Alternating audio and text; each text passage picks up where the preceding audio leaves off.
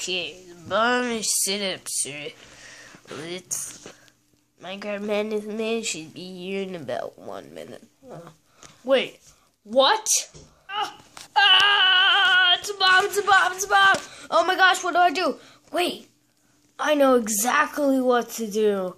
I just need to type, I just need to send a file to stop this bomb. Oh, okay, okay, this should be the code. Okay, now I'm gonna do this. Okay, I'm gonna run it. Upload complete! Yes!